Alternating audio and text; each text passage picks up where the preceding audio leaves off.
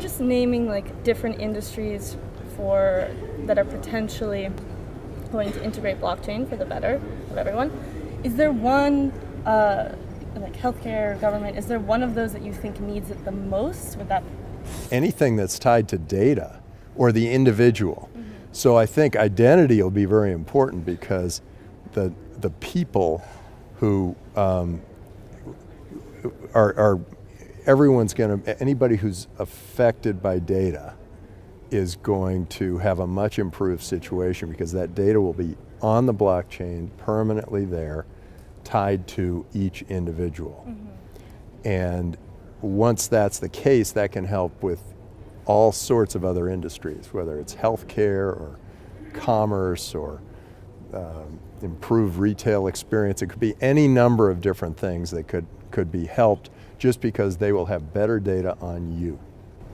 Okay. And what do you think needs to happen to push this kind of adoption to make it happen faster? Uh, is it the competition that you were talking about? But like, what do people need to do to push it? You know. Well, that's great that you asked. I think that um, we are pushing, we who are in the industry are pushing as hard and fast as we possibly can. I'm sure every entrepreneur that was in that conference was really driven, pushing, making something really interesting happen. And um, it's just that there, there are all these uncertainties created by these governments that are run by like the grandparents of the people who are creating this new industry and they don't get it. And, uh, and, it's, and it's very frustrating for the people who are creating the industry. So you have, you have these regulators who are 70, 80 years old, and they are the ones telling these 20 something year olds what they should be doing, but they're the same people who have given them huge uh, education debt, uh, poor education, not appropriate for their for their work life, mm-hmm. and uh, and now they're trying to tell them not to do something right. that is actually creating a whole new economy. I mean, if I'm a millennial, I'm looking, I'm deeply in debt.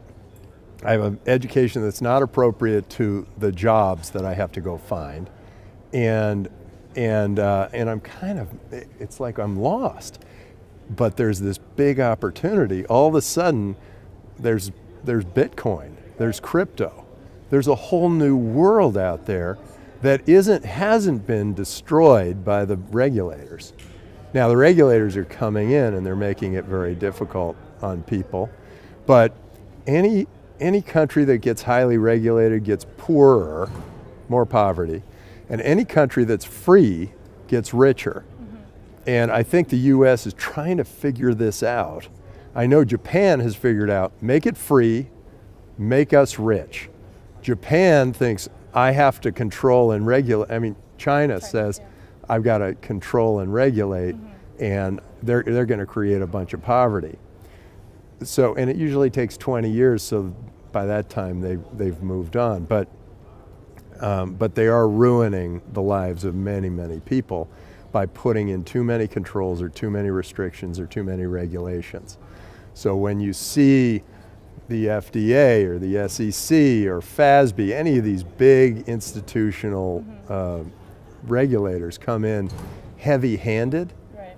they are destroying the potential for growth and wealth in their country.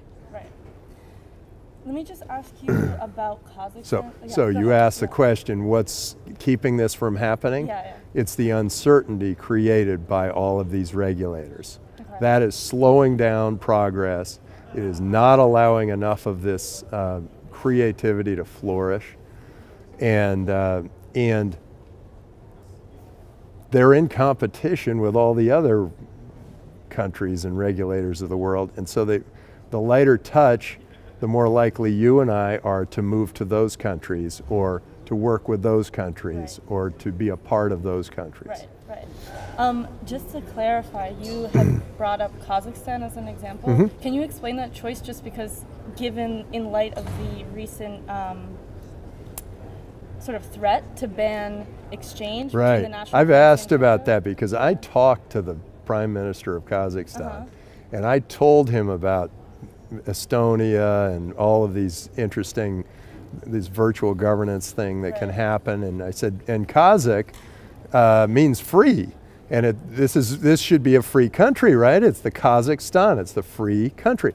And, uh, and, you, and you want this to be free because you'll end up with a wealthier more prosperous Right. country. And why not have you know a certain number of Kazakhs, but then a billion virtual Kazakhs, and have them all be a part of your world and and uh, compete with all those virtual countries Right. for them. And he was all for it. Okay. Um, so I thought that was going to happen.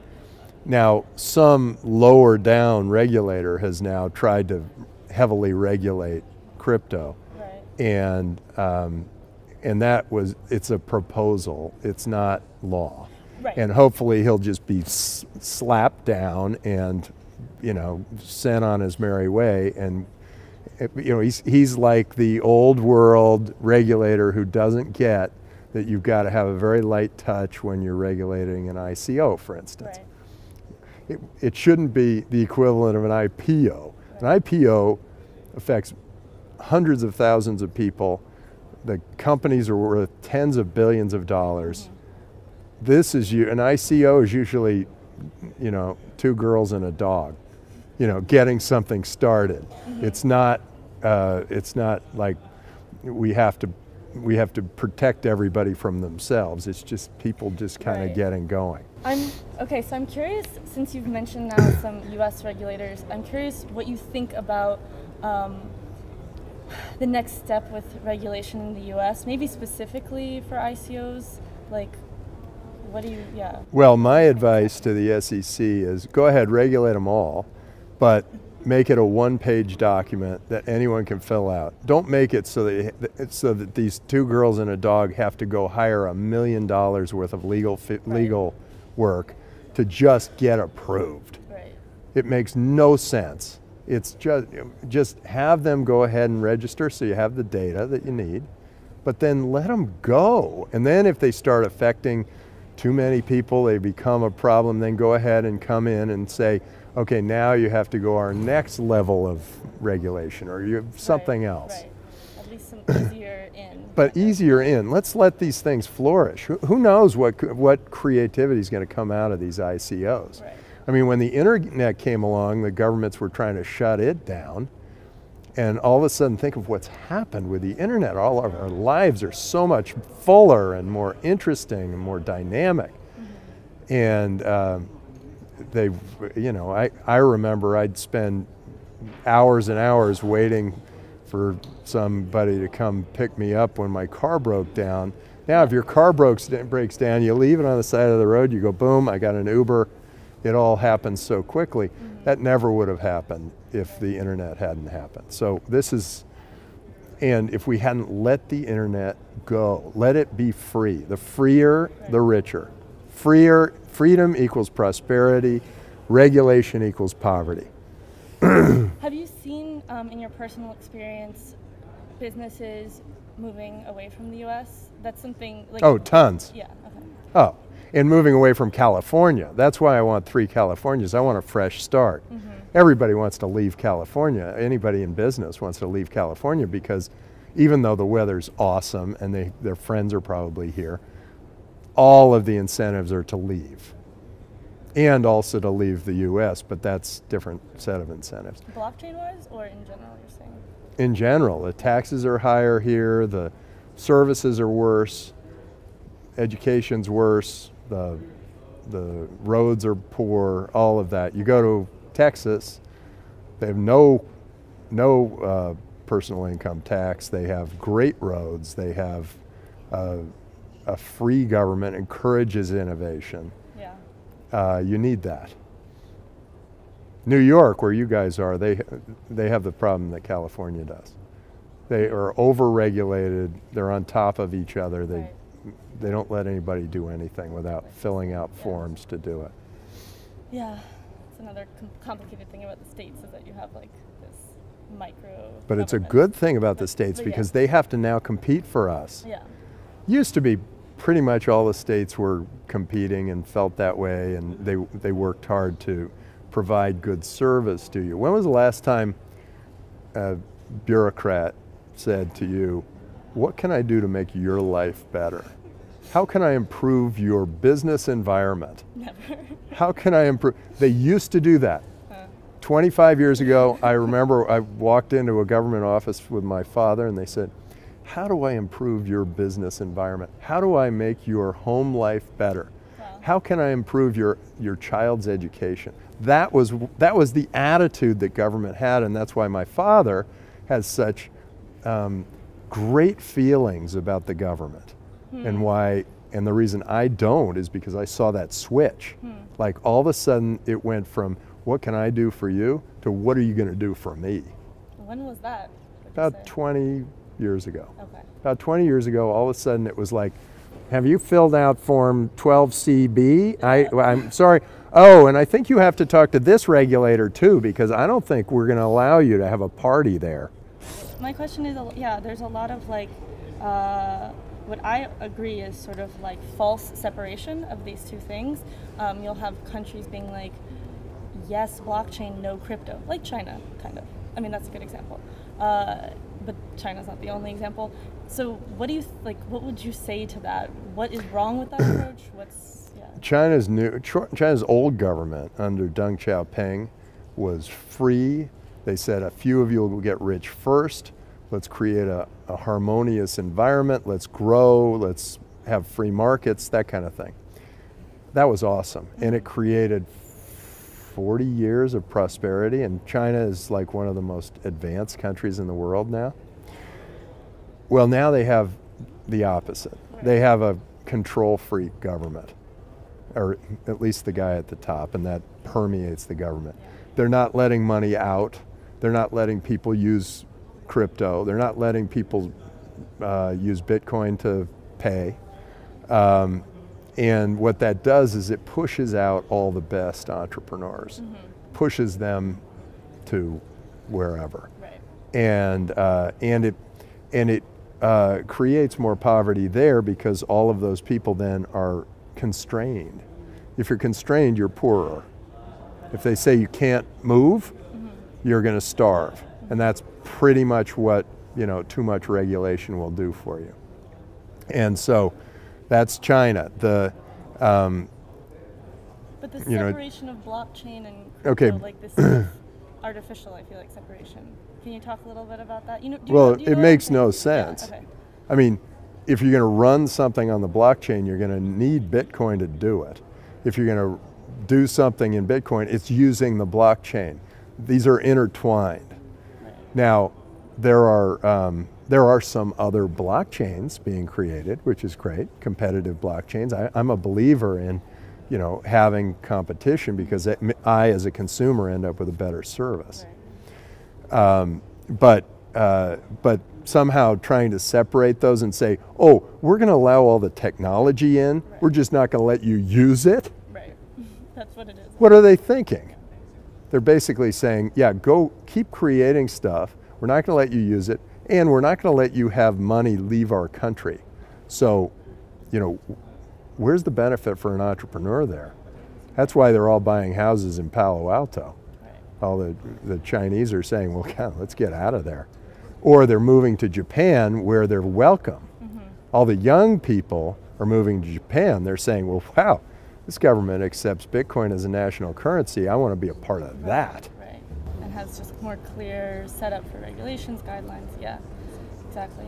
Um, in terms of of different cryptocurrencies, because you mentioned competition. Recently, Edward Snowden, the you know whistleblower, Yeah, right, privacy yeah, yeah. Um, he criticized Bitcoin's blockchain for being what he said was it was devastatingly public. I'm wondering, like, What? Who's listening to him? What? This guy, this guy just, this just the guy just opened up. He he opened up all that information. He made it dangerous. That information. He just opened it all up, right? Right. So so wait, I, this is totally counter his what I thought would be his philosophy, which is, hey, we're open, transparent, we're, you know, this is the way the world should be. It's open and transparent and Right. decentralized and whatever. Bitcoin's perfect for that. Okay. So he's, I don't know, why are you even listening to that guy? It's a little like, you know, do we listen to the guys, guy who runs the biggest bank in the world when he says we shouldn't use Bitcoin? Well, yeah. Well, why listen to that? Right. Because the guy is realizing that people are taking pieces, 1%, 2%, 5% of their money out of his bank Right. and putting it into crypto. right. Obviously. So he's totally, Yeah. you know, disinterested. He's very interested in this, and he is very nervous that he's going to lose all those customers, and he will. Over time, he will. Yeah. There's no reason this. It just feels like crypto generally will will replace all fiat because it's just better currency, and all the best engineers in the world are working on that. They're not working on how to improve services for the dollar. Right. Yeah. So I'm curious, uh, based on that, what you think, what you just said, that fiat will eventually be replaced by crypto. Yeah. Is that what you see as like? By the way, that's a hundred trillion dollar market. Yeah. So that means that we have a long way to go in the crypto market. We're now in the hundreds of billions. It's like it's got a thousand times on what it is now to go. Yeah, yeah.